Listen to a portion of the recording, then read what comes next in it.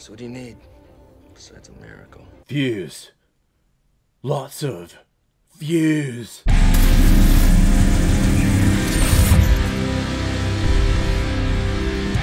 The Matrix, released in 1999 and is directed by the Wachowskis, who have also directed such films like Bound, Speed Racer, Cloud Atlas, Jupiter Ascending, and the rest of the Matrix franchise. And this movie is starring Keanu Reeves, Laurence Fishburne, Carrie-Anne Moss, Hugo Weaving, and Joe Pantoliano. And the reason why we're talking about The Matrix today is because it was a PayPal recommendation and donation from one of my longtime donators and contributors on this channel. Usually he's recommending recommending like the craziest and stupidest shit I've ever seen on screen, but I guess he also has some class about him too, and this is coming from Dr. Camp. Thank you very much for this recommendation. You also recommended the other films in the Matrix franchise. Of course, I've already covered The Matrix Reloaded a couple of years ago, so we're just going to be watching this movie and also Revolution later on this week. But thank you very much for this recommendation, and this is one of those tentpole films that defines a decade and defines really a generation. It's one of those movies that come from out of nowhere and all of a sudden it takes the world by storm and the world is just craving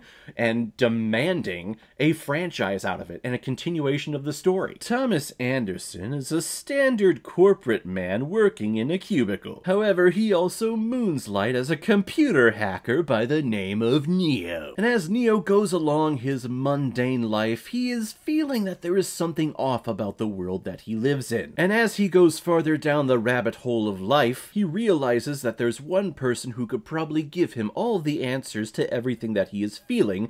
His name is Morpheus. And upon meeting this man, he gives Neo two options. The first option is to go back to sleep and forget any of this ever happened, or the second option, which is to jump down the rabbit hole and to see how far it goes. As I'm talking about this movie, the plot synopsis is actually very difficult to talk about because the great thing about this movie, and I always love it when films do this, you're going along for a good 30 and 40 minutes thinking that the film is going to be one thing, but then all of a sudden a choice or a situation happens where the film completely turns on its head, does a complete 180, and all of a sudden we are going down this weird, different path that you didn't see happening. Sometimes it works terribly for films, other times, like this one, it kicks ass. It's a metaphorical bat that the screenwriters and directors take and slap you across the face with. You think you know, you think you know what this movie's about. Brother, you have no idea. Not everyone has seen The Matrix, and I think some people are put off by The Matrix and the concept and maybe the fan base around it because you know, Matrix fan people, I mean, we're all kind of weird. I remember going to Suncoast one day in the mall, right? Remember those places called Suncoast and video stores where you went to go purchase VHSs and DVDs? Well, I guess it wouldn't have been DVDs at the time, but still. I remember seeing this guy walking in and he was dressed all in black with a long trench coat, wearing sunglasses inside like a dork, and he had his grandmother with him, and he goes up to one of the black and white pictures of all the special characters from classic films on the wall, and of course, right there is Neo in his black trench coat from the Matrix. And he's like, Grandma, I want a coat just like that one day. And I always wondered since that day if he ever got that trench coat. Because this movie was so influential. It was so cool. It made everything just cool. Wearing all black, wearing trench coats, wearing sunglasses indoors. Yeah, that's freaking cool. And you want to know why it's cool? Because Laurence Fishburne and Keanu Reeves, they can do kung fu, but they're not breathing heavily at the end. It's such a philosophical movie, asking the audience a whole bunch of these what if questions, and I'm sure it made a lot of people kind of sit back and wonder like, okay, the world that I'm actually living in, is this, is this real life? Or am I being watched right now? Am I actually plugged in and I have no control over this? Kind of feels like that in some ways, doesn't it? But the main thing that this film is known for, other than just being so freaking cool, is its innovation in special effects and cinematography. The slow motion 360 shots where they had several cameras just lined up in a circle and when you went through one action, everyone was filming at a certain rate and then they just pieced together it all and it's all just one seamless spinning around that everyone in cinema after 1999 was trying to emulate and was trying to put into their action movies. Parodies of this technique were done all throughout the early 2000s because, again, The Matrix was still freaking cool. One of my friends in high school for a class project actually tried to do the 360 spin and you know, you, you only have so much technology with your small little camcorder and taking pictures. But you know, it was it was okay. I don't have the footage to show you, trust me. So, you don't want to see that, believe me you don't. Laurence Fishburne is great as Morpheus. When he comes on screen, you know that he is the guy with the answers, and he's the guy with all of the faith in everything and in this prophecy that surrounds the One. Or if you rearrange the words, it spells out Neo. What? I believe this was my first blood with Laurence Fishburne, so every time I've seen him after that, I just always go, oh, that that's Morpheus. He's carrying himself, he's cool, he's collective, he knows everything, he has faith in everything.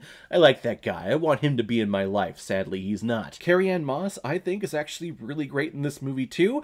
I don't think she recaptures the greatness that she had in this movie and the other two films. We'll talk about that later on this week. And Keanu Reeves is Keanu Reeves in this movie. And I think at the time I was thinking that, you know, anyone could really just play this role because they're the fish out of water, they're Alice in Wonderland, they're like, well, what's going on? I don't know. What? How? Why? Where? But now looking back on it many years later, it's kind of impossible to imagine anyone else in that role just because it's surrounded Keanu Reeves for so long and it's helped revitalize his career. It was one of the things that established him. It was one of the things that revitalized him because we all remember just how, again, cool Keanu Reeves was in this movie. And he is the perfect person to carry out the Wachowskis' dialogue that they write in their script. They're always seeking for that trailer line, or that very suspenseful line, or the badass action flick line, if you know what I mean. I believe I'm the one that can bring him back. But in order to get to those lines of dialogue, they have to stretch out the scene, and they have to stretch out the dialogue so much more. So in order to do that, they put in a whole bunch of lines of like, what?